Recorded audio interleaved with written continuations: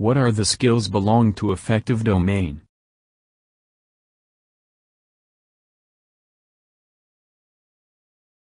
Hello guys. Welcome to my YouTube channel. Jack's Insights. This channel offers educational and entertaining videos specially made for the interested and curious viewers. Please watch the video till the end. And don't forget to like the video. Leave a comment. And of course, please subscribe to my channel and click the notification bell for the updates.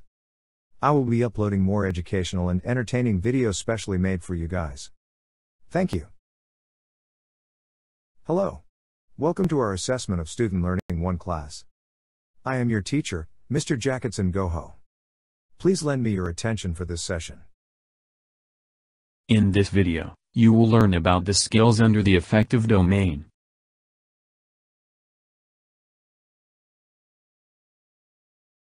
The third and the last domain is the affective domain or the attitude, which is arranged from simplest to complex behaviors. The affective domain refers to the way in which we deal with situations emotionally such as feelings, appreciation, enthusiasm, motivation, values, and attitude. The taxonomy is ordered into five levels as the person progresses towards internalization in which the attitude or feeling consistently guides or controls a person's behavior.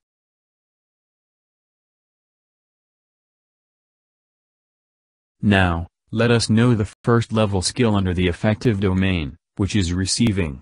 That is being aware or sensitive to something and being willing to listen or pay attention. These are the outcomes verbs select, point to, sit, choose, describe, follow, hold, identify, name, reply.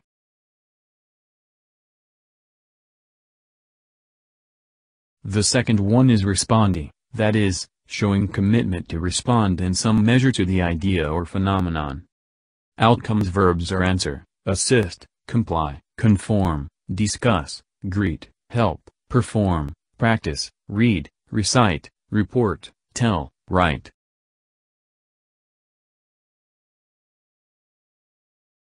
Next is valuing that is, showing willingness to be perceived as valuing or favoring certain ideas. Outcomes verbs are complete, demonstrate, differentiate, explain, follow, invite, join, justify, propose, report, share, study, perform.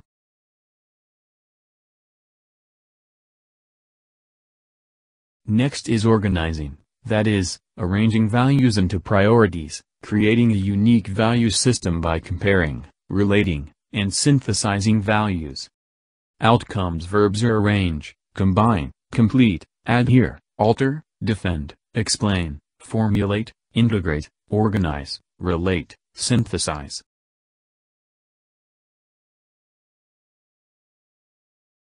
The last one and is considered as the highest level under the affective domain is internalizing. That is, practicing value system that controls one's behavior, exhibiting behavior that is consistent pervasive, predictable and characteristics of the person. These are the outcomes verbs act, display, influence, listen, discriminate, listen, modify, perform, revise, solve, verify.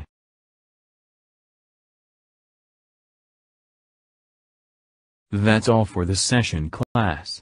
I hope you get something about the things being discussed. If there's some points which are not clear, feel free to view the video again. Thank you.